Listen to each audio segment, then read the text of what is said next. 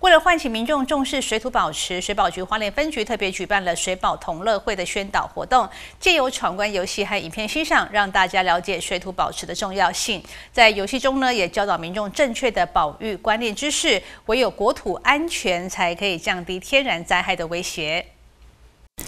五月份除了有温馨的母亲节，还是水土保持月。水保局花莲分局今年是以“回蓝水保同乐会，爱水保金无影”为主题，在花莲文创园区举行的宣导活动。我们今天大概会有我们水保闯关的游戏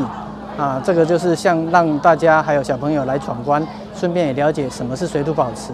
啊，水土保持的重要性，还有它一些防灾的一些观念。那另外晚上我们还有一个星空电影院。我们播放的是一个皮克斯的动画电影，还有我们水保局的微电影。那介主要是介绍我们水保局防灾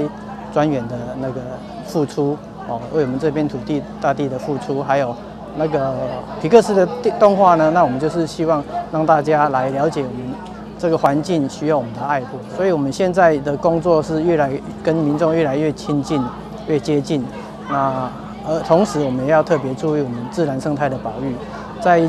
兼顾我们的安全之之余呢，我们要兼顾我们这个生其他的生物的生存，所以跟这些生物多样性的关系也很密切。所以我们希望人可以跟这片土地和谐的共处，让民众一起来参与。这样，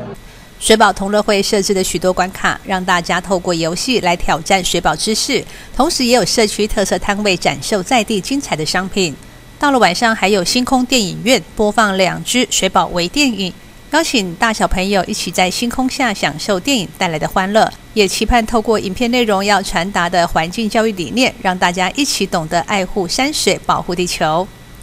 这里会换是报道。